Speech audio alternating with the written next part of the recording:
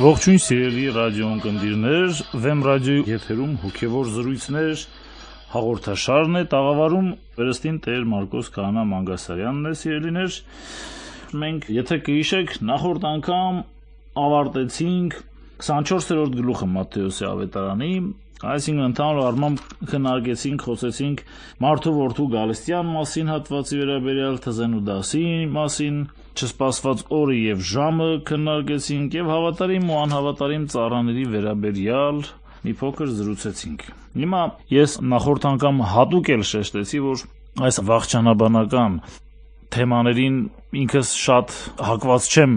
մանրամասն կերպով անդրադառնալու, որովհետև ի վերջո կարելի է մտնել այստեղ, խճճվել ամենամանր դետալների մեջ, թե ինչպես է լինելու, ինչ է լինելու, երբ է լինելու եւ այլն եւ եւ կորցնել բուն գաղափարը, բուն դասը, որ ավետարանը մեզ տալիս է։ Իսկ բուն դասը ավետարանի կողմից մեզ փոխանցվող հետեւյալն է, ավետարանն ասում է, պատրաստ եղեք Մարդու որդու Գալստյանը ավետարանը մեզ ասում է պատրաստ եղեք աշխարհի վաղճանին, որովհետև ձեր ապրած կյանքը այնպեսին պիտի լինի, որ ցանկացած պահի էլ եթե աշխարհի վաղճանը վրա հասնի, եթե Քրիստոս երկրորդ անգամ գա, մեծ դատաստանի առաջ կանգնելու լինենք, մենք պիտի ամոթով չմնանք։ Այս է գլխավոր դասը վերջնական, այսպես ասենք, այս վաղճանաբանական հատվածների, հատկապես Մատթեոսի ավետարանի 24-րդ գլխում այսպես ծանրակշիռ կերպով մեզ ներկայացվող տեքստերի գլխավոր ասելիքը պատրաստ լինելու մեջ է։ Պատրաստ լինելու այն ժամանակ, երբ որ դեռ այս աշխարհի մեջ են, երբ որ դեռ ժամանակ ունենք բարիք գործելու։ Ուրեմն Սիրելիներ, ես այսօր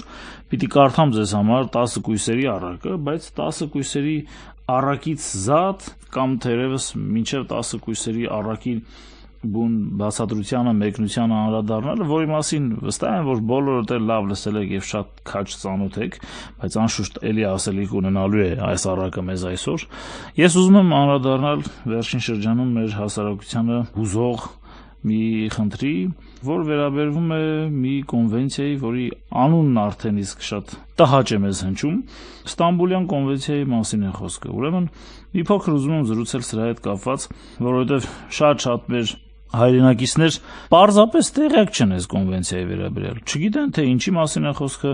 չգիտեն թե այս կոնվենցիան իր մեջ ինչ որ խնդիրներ ներառում է, ինչ ծուղակներ կան այնտեղ պահված կամ ինչ չկա։ Առհասարակ ընդհանուր եթե տեղեկություններ տանք, մեր երկիրը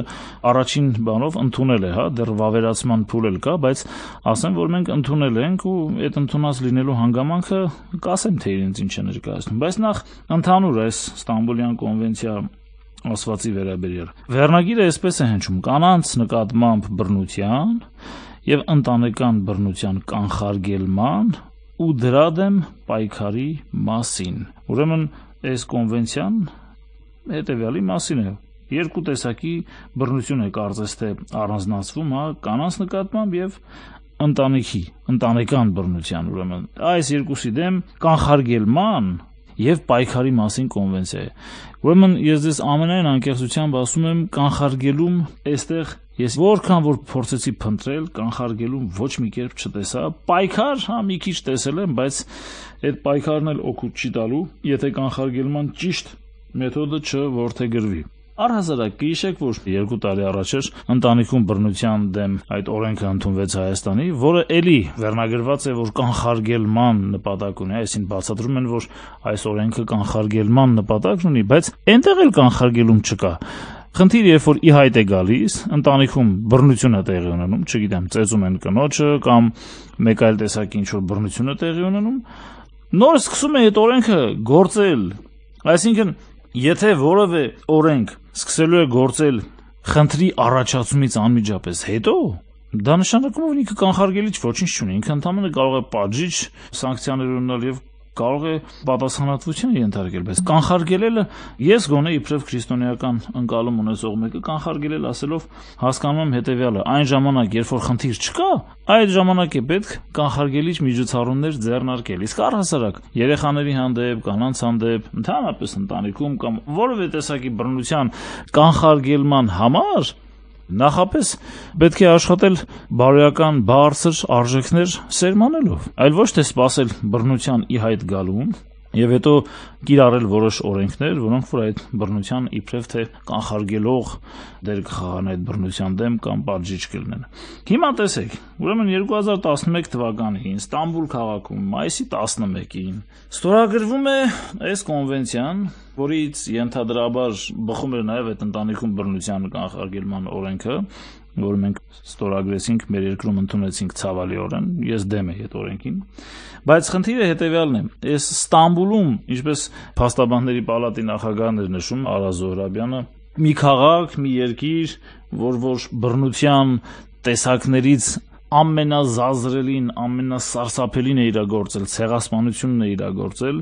Թուրքիան, Ստամբուլը, որտեղ որ բռնության գագաթնակետն է հա եղել, տեղի ունեցել, ծայրաստիճան բռնություններ են եղել, այդ երկրում, այդ քաղաքում հանկարծ ու հանկարծ բռնության դեմ ինչ որ կոնվենցիա է ստորագրում։ Սա ծաղր է, էլի, այսինքն սև հումորի պես մի բան է։ Հետնել ես ուղղակի մեր ունկնդիրներին նշեմ, որ Թուրքիան ինքը ոչ միայն ընդունել, այլ նաև վավերացրել է այս կոնվենցիան, բայց ինչ մտքով, գիտեք,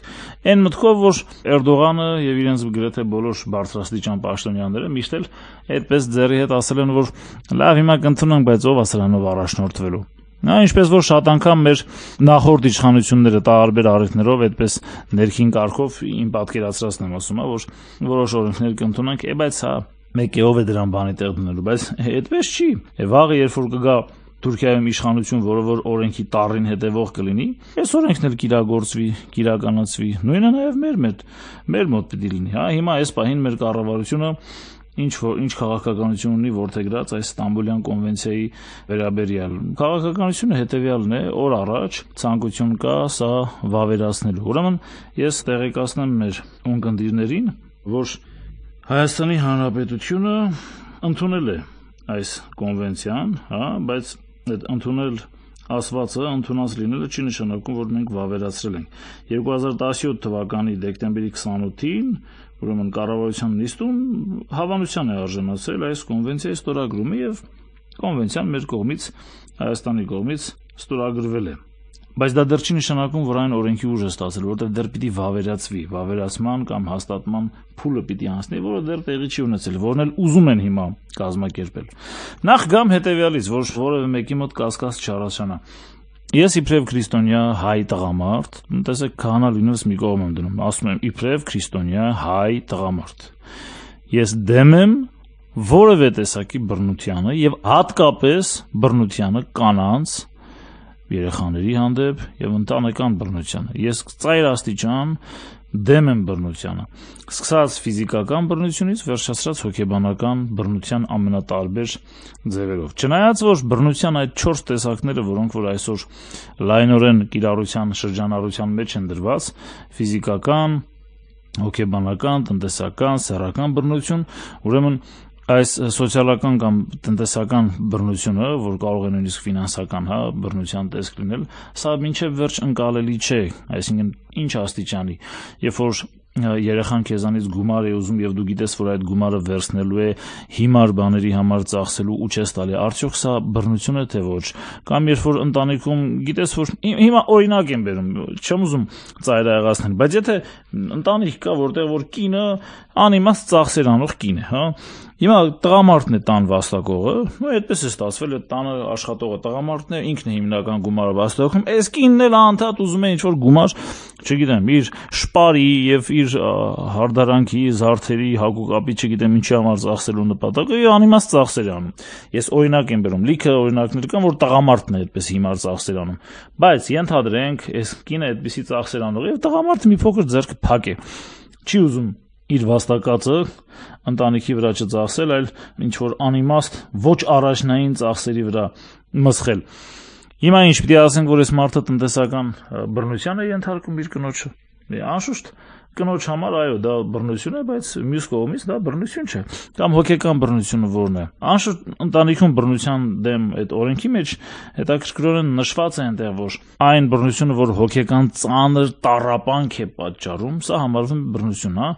Բայց այս Ստամբուլյան կոնվենցիայի մեջ նշված չի հոգեկան ծանր տառապանքի հանգամանքը, առհասարակ բռնություն է, ինչ որ ուղղակի սահմանափակում է եւ ինչ որ այս մարդը ընկալում է իբրև բռնություն։ Ուզում եմ ասել, որ նույնիսկ ընտանիքում բռնության դեմ մեր օրենքը, երբ որ մենք նայում ենք, այնտեղ քիչ թե շատ ավելի հստակ է սահմանված, որ ինչ է բռնության այս կամ այն տեսակի։ Ստամբուլյան կոնվենցիայի մեջ ընդհանրապես բռնությունը շատ այսպես ինչպես ասեմ, որ ճիշտ հնչի, շատ լղոզված կերպով է նկարագրվում։ Օրինակ, կանանց նկատմամբ բռնությունը հասկացվում է, ես կարդում եմ ուղիղ կերպով Ստամբուլյան կոնվենցիայից, հասկացվում է որպես մարդու իրավունքների խախտում ու կանանց նկատմամբ խտրականության ձև, եւ նշանակում է գենդերային հիմքով այն բոլոր բռնարարքները, որոնք հանգեցնում են կամ կարող են հանգեցնել կանանց ֆիզիկական, սեռական, հոգեբանական կամ տնտեսական վնաս կամ տարապանք պատճառում։ Հիմա մեկի համար այդ վնասը կարող է ամենափոքր վնասն էլ կարող է լուրջ ծանր լինել, մյուսի համար այնքան էլ չէ։ Այդ թվում այդպիսի բռնարարքների սպառնալիքները, նույնիսկ սպառնալիքը համարվում է բռնություն։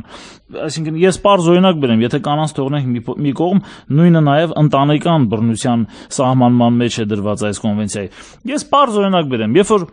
ծնողը զայրանում է իր երեխայի վրա, որը որ չգիտեմ, մի ինչ որ հիմա չարաճճություն է անում, ասում է, «Խելոք մնա, թե չէ հիմա կտամ գլուխդ կկոտրեմ» օրինակի համար, հա։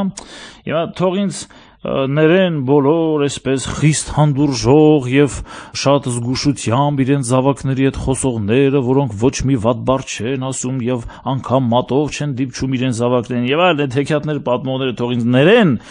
բայց Եվ որ ծնողը ասում է խելոք մնա թե չէ մի հատ հիմա ասենց որ տվել եմ գլուխը կպոկեմ օրինակ իսկապես տալու է գլուխը պոկի տալու է գլուխը ջարդի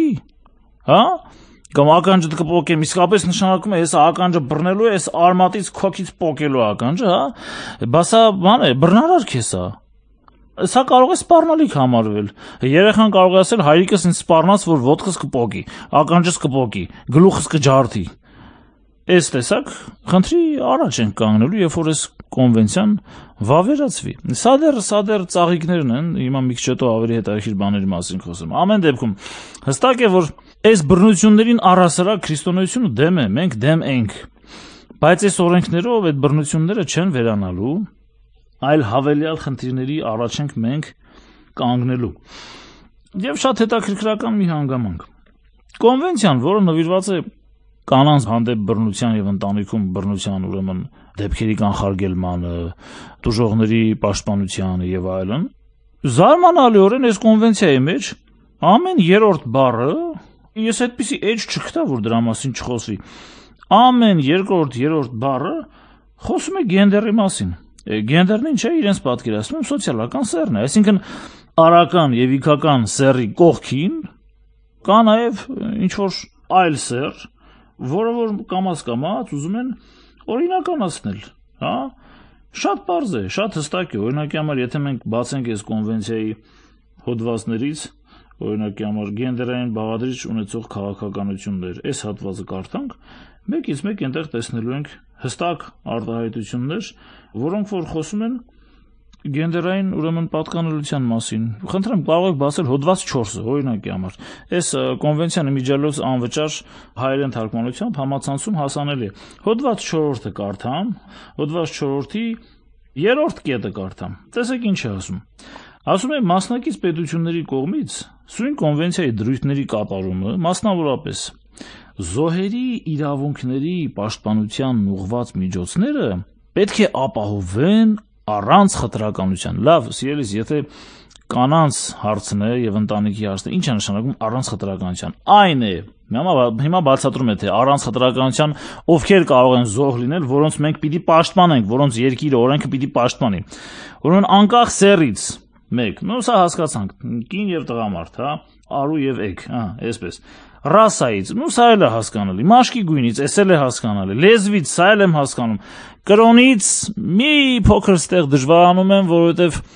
ամբողջությամբ խնդիր չի, բայց մի փոքր խնդիր կա այստեղ հետեւյալն է։ Օրինակ Եհովայի վկա է մայրիկը կամ լավ եկեք մայրիկների վրա չկենտրոնանք, թե չեք ասեն հոգեբանական բռնություն է սա, անդադ ինչ որ կանանց է օրինակ բերում։ Տղամարդը Եհովայի վկա է։ Կինը հայարակելական եկեղեցու զավակ է Ունեցել են տղա կամ աղջիկ, տարբերություն չկա։ Խնդիր կա արյան փոխներարկման։ Հիմա հայրը Եհովայի վկա է, ասում է, չէ որ չէ իմ երեխուն պիտի արյան փոխներարկում չարվի, ու կինն էլ ընդեղից ասում է, չէ պիտի արվի, ու կռիվ է այստեղ։ Հիմա իհարկե տղամարդկանց դեպքում շատ քիչ է հավանական, որ զոհ կլինի այդտեղ տղամարդը բռնության կընթարկվի, բայց եթե ենթադրենք, որ կինն է Եհովայի վկայև տղամարդն է հայարակելական եկեղեցու զավակ ու կինը չի թողնում որ զավակին փոխներարկում անեն արյան եւ տղամարդը հարկադրաբար այս կնոջը թեկուզ ազատությունից զրկելով մի կողմ հրելով գորալով ֆիզիկական կամ հոգեբանական բռնության ինչ ինչ որ կերպ հա հետ է մղում եւ ստիպում է որ իր երեխային արյան փոխներարկում անեն որպեսզի կյանքը փրկվի այս մարդը կարող է ասել գիտես ինչ Ես Եհովայի վկա եմ, իմ կրոնը, իմ հավատքը ինձ ասում է, որ պիտի այս արյան փոխներարկումը չանես, որովհետև այսպես այսպես, այդ ճիշտ է, դուք բոլորդ կորզանվելու եք։ Հիմա ես ուզում եմ, որ իմ երեխային արյան փոխներարկում չանեն։ Իմ ամուսինն էլ կրոնական հիմքի վրա բռնություն է գործում իմ հանդեպ։ Հիմա ինչ, բռնություն է գործում այդ մարդը։ Երկե ոչ։ Սա ամենապարզ օրինակներից մեկը։ Հա, հիմա անկախ կրոնից ուրեմն պիտի բոլորին պաշտպանենք քաղաքական կամ այլ համոզմունքից։ Ну, այլ համոզմունքը մի քիչ դժվարում եմ հասկանալ արիստոտելյան փիլիսոփայության հետևող է, պլատոնյան, թե, չգիտեմ, մարքսիստ է, թե ով է։ Լա, ամեն դեպքում էս էլ մի կերպ կընդունենք ազգային կամ սոցիալական ցակումից էս էլ եմ համաձայն, որ հիմա օրինակի համար տարբեր ազգերի ներկայացուցիչներ կան, իրենք էլ եթե բռնարարքի զոհ են, բռնության են ենթարկել, պետք է պաշտպանվեն, համաձայն եմ։ Այստեղից սկսում է հետաքրքիրը։ Ուրեմն Սոցիալական ցակում ազգային փոքրամասնությանը պատկանել գույքային դրություն նորմալ է, ծնունդ, էս էլ է նորմալ, բայց ինչ է նշանակում? Անկախ սեռական կողմնորոշումից 1 գենդերային ինքնությունից 2 նո տարիքից առողջական վիճակից հասկանալի է հաշմանդամության արկայությունից էս էլ է նորմալ ամուսնական դրությունից Էսել է լավ միգրանտի կամ փախստականի կամ այլ կարգավիճակից։ Հարց չկա։ Հիմա իմ հարցը հետեւյալն է. սեռական կողմնորոշում եւ գենդերային ինքնություն։ Այսինքն, օրինակը հստակ եմ ուզում էլի լինի ժողովրդյան բոլորիդ համար։ Եթե օրից մի օր Պարզվի, որ մեկի ընտանիքում զավակը սեռական, այսպես ասենք, շեղում ունի կողմնորոշման առումով, Չեմ ուզում ասել սեռական փոքրամասնության ներկայացուցիչ է կամ եւ որովհետեւ ինչ անշանք փոքրամասնություն։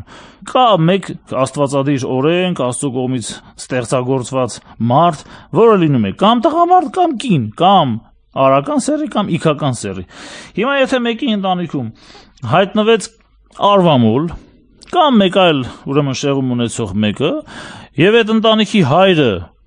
զայրացավ այդ մարդու վրա կամ չգիտեմ մերժեց այդ մարդուն, հա, ինքը մերժում է այս մարդու արկայությունը, ինքը չի ուզում իր ընտանիքում լինի այդպիսի մեկը։ Հա հիմա անձնական դժբախտություն է, իր խնդրեմն է, ինչպես եղավ, որ այդ երեխան այդ վիճակին հասավ եւ այլն, սա սա լրիվ ուրիշ թեմա է։ Բայց պատկերացրեք իմ ընտանիք, որտեղ որ տղան եկել է կամ աղջիկը եկել է, ասում է, ես պիտի սեռափոխվեմ։ Ես ուզում եմ դառնալ տրանսգենդեր, հայրիկ եւ մայրիկ։ Ու ասենք իմիջայլոց, իմիջայլոց, հիմա էս էլ է կարևոր էլի ուզում եմ ասել, որ այս կոնվենցիայի հոդված 3-ում, որտեղ որ սահմանումների մասին է խոսվում, նայեցեք, Զ կետը ասում է կանայք ներառում է նաև 18 տարին չլրացած աղջիկներին։ Այսինքն շքեղ է էս էլի, սա վերջն է, սրանց եկում չգիտեմ, այսինքն երբ որ ասում կանանց հանդեպ բռնության կանխարգելման եւ այսինքն նշանակում է սա 4, 5, 6, 7, 8, 10 տարեկան աղջիկը եւս կարող է օգտվել այս կոնվենցիայից համաձայն եմ թող որ ֆիզիկական, սեռական ոչ մի տեսակ բռնության չի ենթարկվի, բայց 10-11 տարեկան աղջիկը գալիս է տուն, ասում է հայրիկ եւ մայրիկ, ես դպրոցում, քանի որ սա կրթական մակարդակով էլ պիտի արդեն մաս հрамցվի, հիմա կխոսենք կրթության վերաբերյալ հենց կոնվենցիայի դրույթներից։ Է կարող է այս աղջիկը գալ ասել, որ հայրիկ եւ մայրիկ, ես ուզում եմ սեռափոխվել, Ես ուզում եմ կամ ես ինձ զգում եմ տրանս, ես ինձ զգում եմ բիսեքսուալ կամ ես ուզում եմ լինել լեսբոհի։ Հիմա հայրը այդտեղ որ մի հատ վեր կանա, չգիտեմ, մի հատ ապտակ որտա որ գլուխը փոկի, ինչին ես կողմ կլինեմ, հա? Ինքը լինելու է բռնարար։ Ինքը լինելու է բռնություն գործադրող անձ, եւ սա համարվելու է զոհ։ Եվ սրան պիտի պաշտպանի հոդված 4-րդի 3-րդ կետով, քանի որ սա սեռական կողմնորոշում ունի այսպիսի կամ գենդերային ինքնությունը իր այսպիսին է, վերջացավ ինքը պաշտպանված է։ Ու դու չես կարող եմ ոչինչ ասել։ Այսինքն որ օր այս կոնվենցիան վավերացվեց, մեր ընտանիքներում մեր երեխաները եթե արտաքին ուժերի, արտաքին գայթակղությունների ինչ որ հիմար հովերի ազդեցության տակ սխալվեն, Մենք ոչ մի հնարավորություն չունենք իրենց հետ բերելու։ Հայրական ապտակ տալու իրավունք էլ չունենք։ Հա, այդ ապտակ ասածս Նարդոսի մեր թաղը պատմվածաշարի միջի թե ինչ եղավ երբ շաքարամանից երկու շաքար պակասեց այդ պատմության միջի մի մուշտ եր տվեցի էլի այդ հայրական ապտակը չի դա մուշտին ապտակը չի մուշտին բռուցքով խփելն է ես կողմ չեմ բռնությանը բայց հստակ է որ Եթե դուք կանանց պաշտպանելու նպատակ ունեք, սիրելի կոնվենցիան ստորագրածներ եւ ջատագովներ, մեր մոտ նախարարների մակարդակով էս բարձրաձայնվում է որ պիտի ընդունենք, կարեւոր է։ Եթե կանանց եւ ընտանիքի հարցն է, ինչի է այստեղ սեռական կողմնորոշման մասին նշված։ Ինչ կապ ունի դա։ Կամ գենդերային ինքնության մասին։ Ну, սա արդեն հստակ հասկանալի է, թե նպատակը ինչ է։ Նպատակն այն է, որ այդպիսի մարդկանց իրավունքները պաշտպան։ Եվ հետո այս նույն կոնվենցիայի պարզաբանումը կա, պաշտոնական պարզաբանումը կա։ Եվ պաշտոնական պարզաբանման մեջ հստակ նշված է, որ լեսբուհիները, արվամոլները, սրանք տրանս եւ այլն եւ այլն, այս բոլոր տարատեսակները շատ անգամ իրենք եւս ընտանիքում բռնության ենթարկվելով չեն կարողանում օգտվել պատշաճ, ուրեմն, այսպես ասենք, պաշտպանական մեխանիզմներից։ Պաշտոնական մեկնաբանության մեջ է հստակ ասվում։ Այսինքն սա էս ինչ որ հեքիաթ չի որ պատմում եմ։ Ну սա ասում եմ ամեն էջի մեջ խոսք կա գենդերի մասին, գենդերային կողմնորոշման, ինքնության, սեռական կողմնորոշման մասին որը որ սարսափելի է պարզապես։ Հիմա գնանք մեկ այլ կետի էլ ուղակի, այսպես անդրադառնանք ու մնացածը կթողնեմ մեր ունկնդիրների հայեցողությանը իրենց մտքին, էլի, հա։ Նաև ասեմ այն, որ հոդված 11-ը տվյալների հավաքում եւ հետազոտում, այս շատ հետաքրքիր բան է, այստեղ հստակ երևում է, որ այդ բոլոր ինֆորմացիան բռնության ենթարկվածների հետ կապված բոլոր տեղեկատվությունը, ամբողջ տեղեկատվությունը գնում է Եվրո եվրոպական ամենատարբեր մարմինների։ Ինչի համար։ Որն է նպատակը։ Մինչև վերջին խնդրեմը քո երկրի, որբեսի դրսում իմանան։ Է parza քո խնդիրները կիմանան, հետո որտեղ որ շատ ավելի խոցելի ես, այդ տեղով էլ կհարձակվեն քո վրա, ինչ ա եղել։ Բայց ես ուզում եմ հոդված 14-ը կարևոր, այսպես հատուկ ուշադրությամբ ընթերցել ձեզ համար եւ խնդրում ուշադիր լսեք։ Հոդված 14. Կրթություն Համար 1 հոդված 14-ի 1-ը կրթության մասին նայեցեք ինչ ասում։ Ասում է մասնակից պետությունները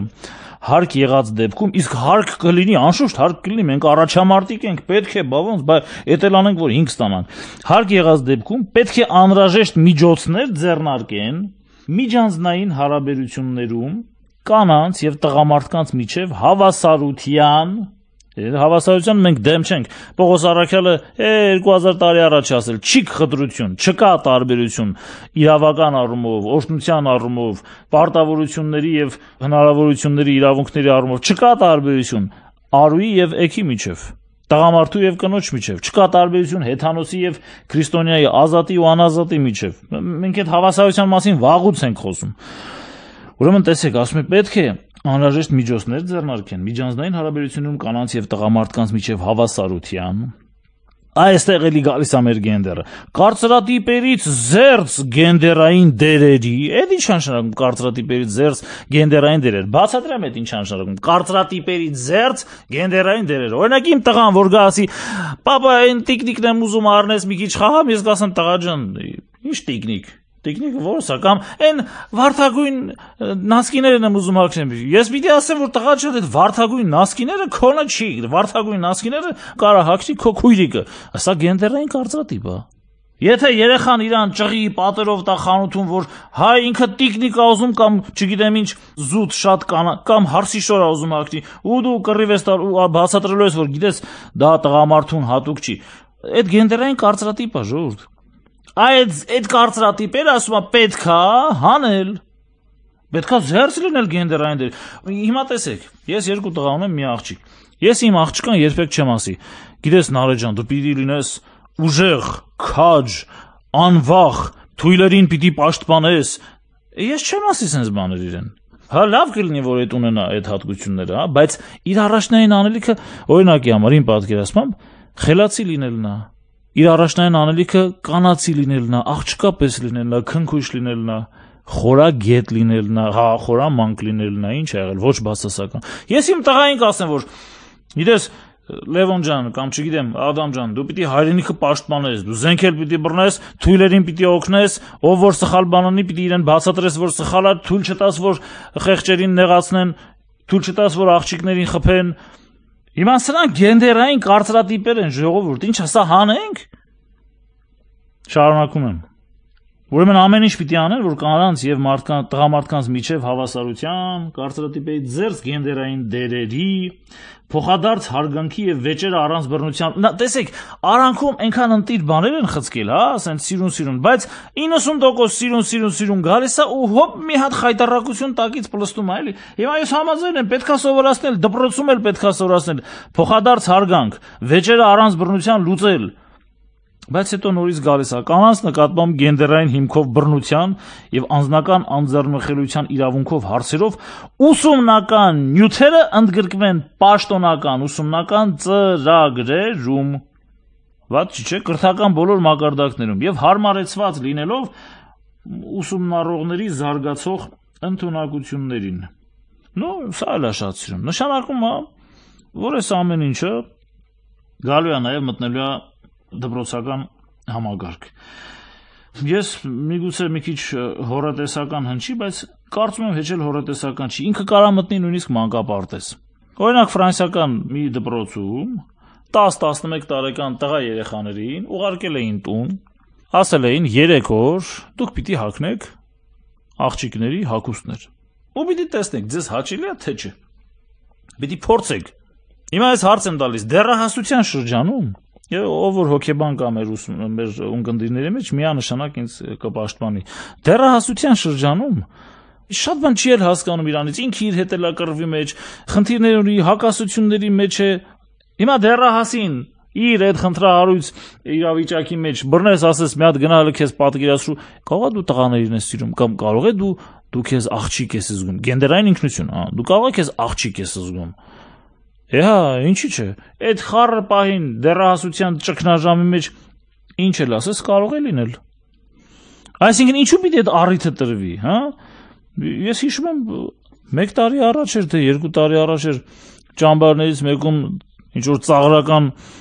միջոցառում էին կազմակերպել տղաներին աղջիկների հագուստ հագցնելով աղջիկներն էլ տղաների հագուստ այնտեղ հոգեվորականներին էլ էին ծաղրում այսինքն այս ամեն ինչը մեր մեջ քիչ-քիչ փորձում են արմատավորել։ Հիմա ես ուզում եմ հա, կարդալ, այսպես ամբողջ այս կոնվենցիան կարդամ մեր ժամանակն էլ կսպառվի, բայց չեմ կարող չկարդալ։ Ուզում եմ կանխարգելում վերնագրված, ուրեմն երրորդ գլխի հոդված 12-ի 5-ը կարդամ ձեզ համար։ Ուրեմն կանխարգելման մեթոդներից մեկը, հա, ինչպես պիտի կանխարգելեն այդ բռնությունները։ Ասում եմ մասնակից պետությունները պետք է ապահովեն ուշադիր եք լսում, խնդրում եմ ուշադիր լսեք։ 12-ի 5-ն է, հոդված 12-ի 5։ Մասնակից պետությունները պետք է ապահովեն, որպեսի մշակույթը, սովորույթը, կրոնը, ավանդույթը, այսպես կոչված ուչակերտների մեջ է դրած պատիվը չվկայակոչվեն սույն կոնվենցիայի առարկա հանդիսացող բռնության որևէ գործողություն արդարացնելու համար։ Այսինքն որովը մեկը չի կարող ասել իմ կրոնական համոզմունքը կամ իմ ազգային մտածողությունը, ավանդական արժեքները ինձ ստիպում են, որ ես կնոջը պատկերացնեմ այսպես, տղամարդուն պատկերացնեմ այսպես, ինձ ստիպում են, որ ես չպատկերացնեմ կնոջը տղամարդ, չպատկերացնեմ կնոջ, որը ինքը իրեն տղա է զգում, ինձ իմ կրոնը թույլ չի տալիս, որ ես պատկերացնեմ տղամարդու, որը սիրում է մեկ այլ տղամարդու եւ ուզում է սեռական կյանքով ապրել իր հետ, որտեվ իմ կրոնը ինձ ասում է, որ դրանք բոլորը գնալու են դժոխ, գաղատացրին թղթի մեջ, բոլոր այդ բոլոր շեղում ունեցողներին հիմա ես ինչ անեմ Պողոս Արաքյալը դժոխ գաղարկում եւ ճիշտ անում եւ մենք չենք ուզում որ իրենք դժոխ գնան անշուշտ բայց Պողոս Արաքյալը պարզապես ասում է որ այդպես պիտի լինի չի լինելու որ այդ խնդիրներն ունեցողները այդ մեղքերի մեջ գտնվող մարդիկ փրկության հասնեն չեն հասնելու փրկության եթե չփոխվեն եթե չդառնան ու չապաշխարեն գաղատացների թղթում հստակ այս մասին խոսվում է ուրեմն նայեցեք չի լինելու սա ով որ ասի որ գիտես իմ կրոնը ինձ արգելում է դա ընդունելը իմ կրոնն արգելում է իմ եղբորը ընդունել իբրև տրանսգենդեր ասելու են որ դու բռնություն ես գործում ասելու են որ դու օրենք ես խախտում Հայաստանի Հանրապետության օրենքը դու խախտում ես եղբայր եթե չես ուզում դատվել խնդրեմ ուրեմն համաձայնվիր, որ քո եղբայրը նորմալ է, որ կարող է լինել արվամոլ, որ կարող է լինել տրանսգենդեր։ Համաձայնվիր, որ քո երեխան կարող է այդպեսին լինել։ Ինչ է եղել։ Չպիտի ոչ բան անես, չպիտի կռվես, չպիտի խփես իրեն, նույնիսկ չպիտի ճնշես իրեն։ Հա, այսինքն հոգեբանական այսպես ասենք, ճնշման էլ չպիտի ենթարկես, հանկարծ ու հանկարծ չպիտի ասես, որ դու սխալվում ես։ Սա է ընդհանուր իրավիճակն է, այս կոնվենցիայի հետ կապված, ես ավել բան, չգիտեմ, այսքանից ավել ինչ ասեմ։ Պարզապես մեր ունկնդիրները, մեր բոլոր հավատավոր քույրերը եւ եղբայրները պիտի պատրաստ լինեն ոչ ասելու ցանկացած քայլի, որը միտված կլինի այս կոնվենցիան վավերացնելու։ Ասեմ, դրա հետևանքները շատ այդպես բարդ չի ընկալել։ Հետևանքը լինելու այն, որ ժամանակի հետ սահմանադրական այսպես փոփոխություններով, օրենսդրական փոփոխություններով հաստատվելու են պետական առումով միասեր ամուսնությունները, իրավունք են ստանալու այս մարդիկ պետականորեն գրանցելու իրենց ամուսնությունը, ընտանիք կազմելու իրավունք են ստանալու եւ հետո էլ իրավունք են ստանալու նաեւ ворթեգրության։ Է ասելու են մենք ուզում ենք ворթեգրենք տղա, երկու արվամով ամուսնանալու են եւ մի փոքրիկ տղայի են ворթեգրելու ու ինչ է լինելու այս ворթեգրվող տղան ինչպես պիտի մեծանա Այսօրվա ուսումնասիրությունները ցույց են տալիս եվրոպական տարբեր երկրներում ուսումնասիրություններ են արել միասեր ընտանիքների ուրեմն մեծացրած դասիրակաց երեխաները 99%-ով ունենում են հոգեբանական ծանր խնդիրներ, շեղումներ, խանգարումներ, կոմպլեքսներ, մեծ խնդիրներ, որովհետև առողջ չի մտնոլորտը, որովհետև Աստված մարդուն ստեղծել է, որ իր հակառակ սերի հետ ընտանիք կազմի եւ ոչ թե նույն սերի հետ, որը իրեն հակառակ սերի դիրքում է պատկերացնում կամ այդպես է իրեն զգում։ Ուրեմն այս խնդրի առաջ են կանգնելու։ Մանկատներն էլ գիտեք, որ հիմա պետական առումով բոլոր մանկատները փակվելու առաջ են եւ պիտի փակվեն նաեւ հետագայում ոչ պետական բոլոր գիշերօթիկ հաստատությունները։ Հելավ գիշերօթիկ հաստատությունները փակում եք։ Այդ երեխեքին ուր եք տալու։ Պարզը որ լիքը միասեր ընտանիքներ ի հայտ կգան, ու կասեն, որ ուզում ենք պահել։ Եթե օրենքն էլ թույլ տա որ պահեն, մենք ինչ ենք անելու։ Օրենքի դեմ ենք գնալու։ Ուրեմն անշուշտ օրենքի դեմ էլ կարող ենք գնալ, եթե անհրաժեշտությունը գա, եթե այնպիսի օրենք լինի, որը որ մեր ազգի գոյության դեմ կլինի, որը որ մեր հոգևոր բարոյական տեսակը խեղելու միտում կունենա, իհարկե կարող ենք դեմ լինել, եւ օրենքը վավերացվի էլ կարող ենք դեմ լինել ու դուրս շպրտել այդ վավերացված օրենքը կամ կոնվենցիան, բայց իմ հորդորն է որ չթողնենք որպեսի բանը հասնի վավերացումից հետո դա հետ շպրտելուն, դուրս շպրտելուն։ Մենք պետք է նախապես թույլ չտանք։ Օրինակ ստորագրահավաք է արվում ազգային ժողովի դիմաց։ Խնդրեմ, գնացեք ստորագրեք ստորագրեք, որ դուք դեմ եք այս կոնվենցիան։ Այս կոնվենցիան, որ հաստատվի, օրերից մի օր, երկու արվամոր, ձեռք-ձեռք բռնած, գալու են եկեղեցի, ասեն, դուք փոճու ժամանակ մեզ մկրտել եք, մենք հայ եկեղեցու զավակ ենք, ահա, այս էլ մկրտության վկայականը, խնդրում եմ մեզ պսակեք։ Եթե ասես ոչ, նշանակում է դու իր գենդերային ինքնությունը իր սեռական կողմնորոշումը չես հարգում, գենդերային ինքնությունը չես հարգում եւ նույնիսկ սա կարող է համարվել որպես խտրականություն։ Բռնություն էլ կարող է համարվել, մարդ կարող է հոգեբանական բռնության ենթարկել, երբ որ դու ասես, որ գիտես, ես քեզ չպիտի պսակեմ։ Ու եկեղեցին կարող է հայտնվել շատ լուրջ խնդրի առաջ, իսկապես լուրջ խնդրի առաջ։ Պետության սահմանադրությանը փաստորեն եկեղեցին լինելու է դեմ։ Եկեղեցին դեմ է գործելու սահմանադրությանը։ Լավ է սա, իհարկե լավ չէ։ Կամ այլ հարցեր լինելու մեր աղջիկներին սովորեցնելու են, որ այ որ գնաք եկեղեցի, որ ձեզ քահանանացի պսակվելու ժամանակ հնազանդես, կասես, չէ, ինչի եմ հնազանդ որ։ Հենա թող իմ ամուսինն էլ հնազանդ լինի, ես էլ հնազանդ լինեմ, կամ ես էլ ինքն էլ տեր լինեմ, կամ թող ինքը հնազանդ լինի, ես տեր լինեմ, ինչու ոչ։ Հմ որովհետև ինչ է սա խտրություն է, սա բռնություն է, ինչու եք ինձ ստիպում, որ ես հնազանդ լինեմ։ Ուրեմն այս խնդիրները թվում են թե ինչ որ հեքիաթային հերու սարերի հետևում գտնվող հարցեր են, բայց այդպես չի։ Այս խնդիրները վաղը կանգնելու են մեր առաջ։ Վաղը դպրոցում մեր երեխաներին սովորեցնելու են, թե ինչ է նշանակում, երբ որ տղան ուզում է լինել աղջիկ։ Պարտադիր չի, որ աղջիկը առաջնահերթ սովորի Օրինակի համար կարու ձևանել, տան մաքրության հարցերով զբաղվել, թող տղան էլ լվաց քանի, ամանները լվանա կարու ձևանի։ Հիմա տեսեք, իմ կինը երբ որ հղի էր, ես ամանել եմ լվացել, շորերն եմ լվացել, տունն եմ մաքրել, ամեն ինչ էլ արել եմ։ Էնպեսա որ հիմա էլ պետք լինի, հիմա էլ կանեմ, մեծ սիրով։ Բայց մենք գիտենք, որ ով ինչ անելիք ունի, հա? Այլ հարց է, երբ որ դու քո կողակցին սիրում ես իրեն հարգում ես եւ գիտես որ դժվարության պահին պետք է իր կողքը լինես ու օգնես, այլ հարց է որ դա սովորեցնում են որ նորմալ է։ Այդ դեպքում աղջիկներն էլ պիտի սովորեցնեն, չգիտեմ, պատշարել։ Աղջիկներն էլ պետք է սովորեցնեն ծանր ֆիզիկական աշխատանք անել։ Հա բայց մի ուրիշ բան էլ ասեմ, ես հիմա խոսում եմ ու մտածում եմ որ այս կոնվենցիան գրողները եւ սրա ջատագովները ախր սրանք չեն հասկացել որ ամենամեծ խտրությունը Աստված ինքն է արել։ Ես բերեմ ձեզ ամենամեծ խտրականությունը, տեսեք,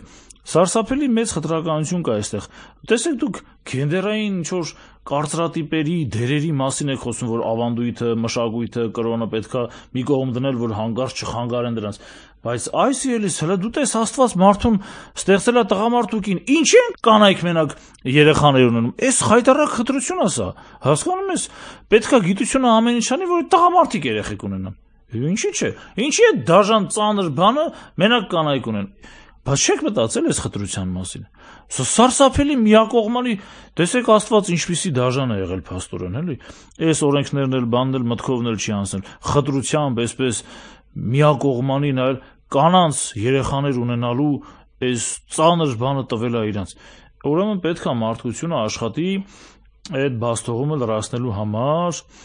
կամ կանանց ազատի երեխաներ ունենալու հոգսից, ստեյլացնելով, քարոզելով, որ պետք չի երեխաներ ունենալ կամ արտամարմնային ինչ որ ինկուբատորներ ստեղծի, որտեղ երեխաներ կարող են առաջանալ, բուծվել, կամ էլ պիտի տղամարդկանց հղիանալու հնարավորություն ստեղծել այդպիսի մի բան պետք է անել։ Ես սա սա շատ լուրջ եմ ասում։ Բոլոր նրանք, ովքեր որ Ստամբուլյան կոնվենցիային կողմ են, ուրեմն պետք է հոգով սրտով նաև սրա մասին մտածեն։ Թե ոնց անեն, որ Այս ամենամեծ խտրականությունը, որ կա բնության կողմից տրված, Աստծո կողմից տրված, որ կանայք երեխաներ ունեն, այս հարցը պետքա լուծվի։ Ոնց անենք, որ տղամարդիկ էլ երեխաներ ունենան ու կանանց այդ հոգսից մի քիչ գոնե ազատենք։ Ուրեմն սա անշուշտ սարկազմով կամ սատիրայով ասված բան է իմ կողմից, բայց ես ցավով եմ ասում, որովհետև կանանց եւ տղամարդկանց իրավունքների հավասարության կամ առհասարակ այս հավասարության խնդիրները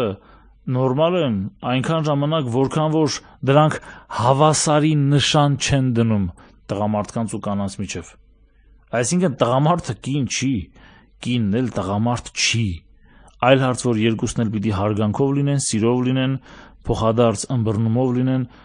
ու կանխարգելումը հեչ էս օրենքներով չի լինում։ Կանխարգելումը լինում է նախապես երեխաներին սովորեցնելով, որ կնոջը աղջկան Պետք է սիրել, պետք է պաշտպանել, պետք է հոգատար լինել։ Աղջիկներին պետք է սովորեցնել, որ պետք է լինել խելացի, խոհեմ, տղամարդուն հարգող, սիրող, քնքուշ, ճիշտ վարվունք ունեցող։ Ի վերջո մեր օջախների, մեր հայ ընտանիքների ծուխը պահողները այդ կանայք են եղել։ Իրենց ավանդությունները, սովորությունները, ամեն ինչ պահել են կանայք մեծ ամասն, որովհետև տղամարդիկ հիմնականում եղել են արտագնա աշխատանքի, դժվարության, դրսի գործերի մեջ Հիմա ինչ ասենք որ տղամարդկանց էլ սովորեցնենք, ասենք, գիտեք, դու կարող եք տան հոգսերով զբաղվել, ճաշիկներ եփել, լվաց կանել, հարթուկ անել եւ այլն եւ կնոջ ասել, գիտես, գնա այս տարի էլ դու փող աշխատի, ապրենք մենք։ Ոչինչ որ այդ կինը օրինակի համար կարող է ֆիզիկապես այդքան պատրաստ չի այդ գումար աշխատելուն, հա? Այսինքն հավասարությունը նույնություն չէ կնոջ եւ տղամարդու հավասար լինելը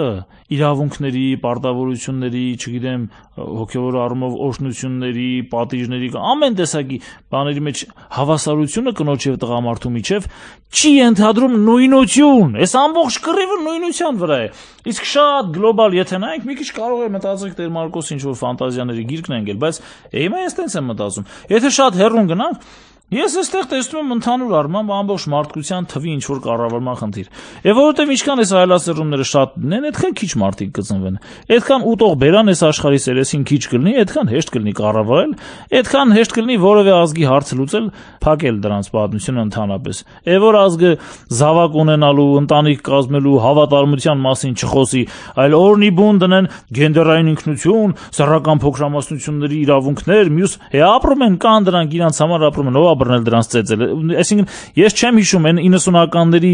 երբ որ մի հատ արվամոլ ենք տեսնում, ուզում ենք բռնենք, ջարդենք եւ այլն, ես հիմա դա չեմ տեսնում։ Մարդիկ հստակ էլ գիտեն թե ով ում բարեկամն է, ոչինչ էլ չեն անում։ Եհա սրանից ավել լոյալություն եք ուզում, հանդուրժողականություն եք ուզում։ Սրանից ավել իրենց ինչպիսին լինելը մեզ պարտադրելն է, որ այս օրենքներով է գուզում անելը։ Մենք դեմ ենք այդ ամեն ինչին։ Ոչ մեկի գլուխը այս վերջում չենք ջարդել, բայց պիտի ջարդենք, երբ որ մարդը վեր է կենում ու ուզում է որ իր ինչպիսին լինելը փաթաթի մեր վզով ու ասի որ նայի հանգարց մտքովը չանցնի որ ասես թե մենք սխալ ենք հա թե չէ քեզ կդատենք սրա վերջը բնականաբար լավ չի լինելու Ուրեմն սիրելներ, ինչպես հասկացաք, 10 գույսերի առակ ես այսօր չկարդացի, ինչի համար ներողություն եմ խնդրում, բայց կարծում եմ, որ պետք էր խոսել այս մասին,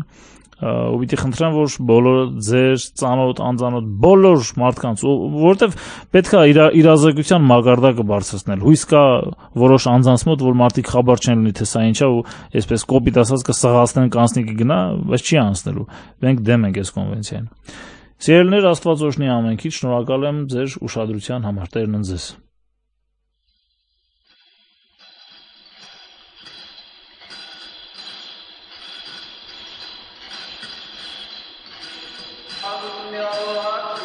Վեմ ռադիոկայանի եթերում հոգևոր զրույցներ ավետարանի շուրջ հաղորդաշարներ։